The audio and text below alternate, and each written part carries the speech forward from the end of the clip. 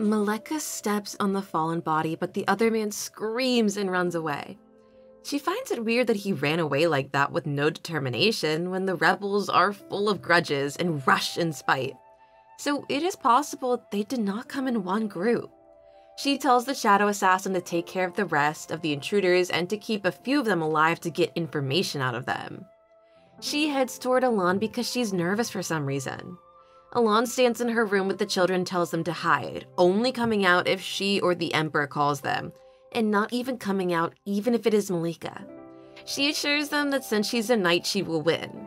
The children hide in a secret passage that Elan knows nothing of, and she thinks that she could have escaped using the passage. Elan takes her sword and realizes that the enemy might be inside the palace. She worries that being part of the Imperial family will put them in danger for the rest of their lives. Alvair enters the room and tells her that he's here for her. If she quietly goes with him, he will not hurt her because the person he wants to kill is only the Emperor. However, Alon does not believe him because she knows that her children have the Emperor's blood, so they would be in danger. She might have hated the Emperor at one point, but right now, she has to fight. She draws her sword on Alvair and wavers, but his assistant appears from behind, repeating the words that Alvair said a moment ago. Alvair signs, saying that he did not want to fight. Since it is a two versus one match, Alon thinks that she just needs to endure until someone comes. Alvair knows that since she took care of a wild boar with a dagger, her skills are too good. However, the two men can make her sword fall to the ground because she hurt her hand recently. A soldier arrives from behind telling them to finish it sooner and that they are inexperienced, but Alvair still asks Elan nicely to come with them. Alon says to just eliminate her, so the soldier stabs her. Alvair shouts at him, but the soldier says that they only need the body, dead or alive. Alvair gets angry at the reinforcements sent by Hout Crescent and regrets accepting their volunteers. He presses the wound on Elan's body, but she says that she would die rather than become bait to catch the Emperor. Alvair asks if she loves the Emperor, if it's just her pride. Maleka enters the room only to find a bloodstain on the floor. She tells the Shadow Assassins that they're too late and Elan has been kidnapped and hopes that she's safe. Two maids are talking about the fire when the Emperor and the Shadow Assassins arrive with a dark aura and ask about Alon. The children walk in the secret passage. They are afraid, but still think that since Alon is a knight, she'll be okay, and they have to hide well, for if they are caught, their mother will be in even more trouble. The Emperor looks at the bloodstain in Alon's room and orders Maleka to report. She kneels and tells him that they've put out the fire, found traces of oil in the fire, and arrested some intruders. The Emperor tells her that he's not interested in all that and asks about Elan. Maleka reports that it seems there was a battle between Elan and the intruders, and the blood belongs to Elan. He touches the blood thinking, why are they taking his happiness away? But calms himself saying that this is not a time to be shaking.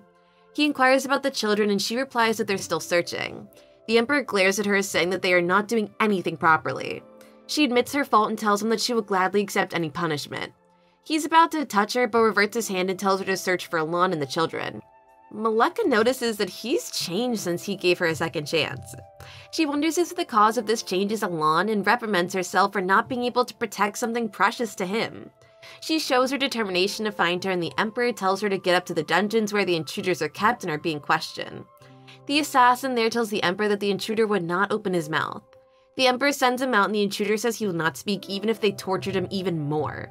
The Empress says that she would have stopped him if she saw this, but since they took her away, he will make them regret it. The Emperor heats the metal and tells him that he was trained personally in torture, unlike the guard before. While torturing him, he says he does not know this hurts him more, but knowing the fact that people do not die easily, he can use many torture methods. No one will come to save him, so he's gonna die like this. The Emperor is torching the intruder when a shadow assassin comes to report that there are traces of movement of the door in the fireplace, leading to a secret passage since there is no sign of resistance. They think that the children ran away from there. The Emperor decides to head to the Wind Palace and orders Maleka to extract more information from the intruder. The intruder curses him, saying that there is retribution for everything and that God will be the judge. The Emperor glares at him, telling them that since there is no God, his pleas would not be heard. The children keep walking when Enril says to take a break and Lian agrees. They both sit down, and Enril's stomach rumbles and he takes out the cookies he had hid to eat at night. He tells Lian to eat the bigger one, but she says that since his stomach even rumbled loudly, he should eat the bigger one and shoves the cookie in his mouth. Both enjoy the cookies and Lian helps Enril clean his mouth because it got dirty. She notices light approaching and they decide to run away. However, Enril falls and tells Leon to run away by herself. She does not run away and closes her eyes while hugging Enril. When they hear the Emperor's voice, they start crying and hug him. They ask about Alon, and the Emperor tells them that she was kidnapped. After noticing that the children look sad, he says to not worry because he will bring her back. Arisa sits in her room looking nervous, but Sarah reassures her that they hired professionals and experienced people. Arisa says that the plan was a success, it has to go as planned, after taking such a risk. Alvair and his assistant carry the unconscious Alon, but the soldier tells him to leave her with him. Alvair questions him that it was in the contract, but the soldier says that his goal to make a deal was to get her in the first place. Alvair's assistant tells him to deal with it because it is annoying. The soldier snaps his fingers and the men rush to attack them. The soldier plans to take Elan away when everyone is busy fighting and rushes toward her. A man asks Alvair if he'll be safe after breaking the contract like this, but Alvair tells him that he knows that Duke Crescent is behind them, and if it is known that the Duke touched the Emperor's woman, they will be the one in danger.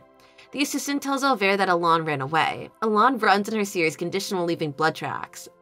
Leonhardt comes to report something to the Emperor, but the Shadow Assassin tells him to come back later. Leonhardt realizes that they are hiding something from him since he got news from an informant that someone was dragged into the dungeon, so that must mean there were intruders in the West Palace last night. He scolds himself for not being able to do anything and decides to find out who broke into the Wind Palace. He has countless suspects, but the first one he needs to meet is Arisa since he has not seen her since last time, and she's obsessed by power and wants to be the Empress, so Elan must have been a thorn in her side. Deciding so, he stands in front of her room but is shocked to hear Arisa shout about some woman who ran away. Arisa panics about the situation, about how she spent all the money to request this, but they lost her. Sarah tries to calm her down, but she stares at her and finds Leonhardt entering her room. He asks about what she just said, but she denies saying anything. Leonhardt tells her to not change the topic and to tell him about the request she made. She averts her eyes, saying it is a personal matter, and tells him to leave the room.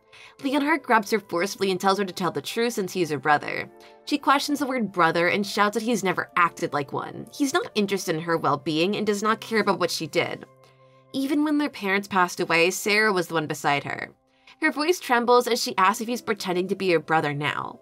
She tells him that she put in a request at the underground agency to kidnap the woman named Delon from the Wind Palace, but they already lost her. While crying with tears, she tells him to find him herself. Leonhardt says he always wanted to apologize to her, but now it's too late to say this and turns to his face, bidding her goodbye.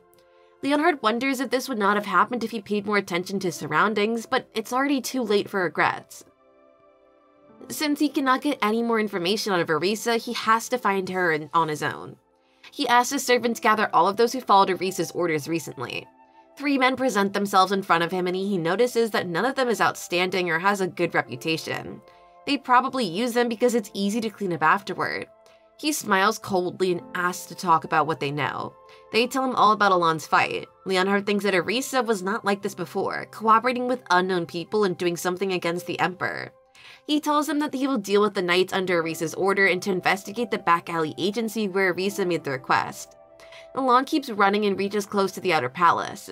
She notices her seniors around is about to call out to them, but Alvair appears from behind, and he places his hand on her mouth, telling her to be quiet.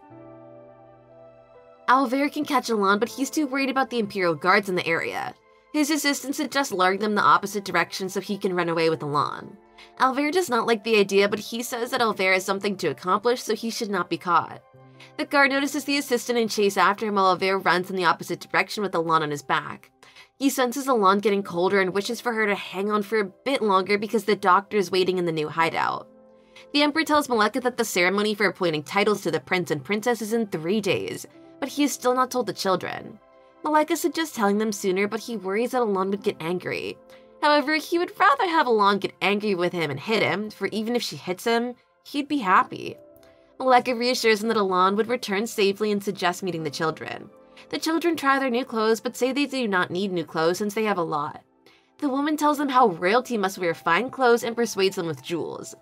The Emperor arrives and says that he has to talk to the children. The children watch Maleka, say that they miss her, and inquire about their mother. She tells them that the Emperor is trying to find her and says that the Emperor has something to tell them.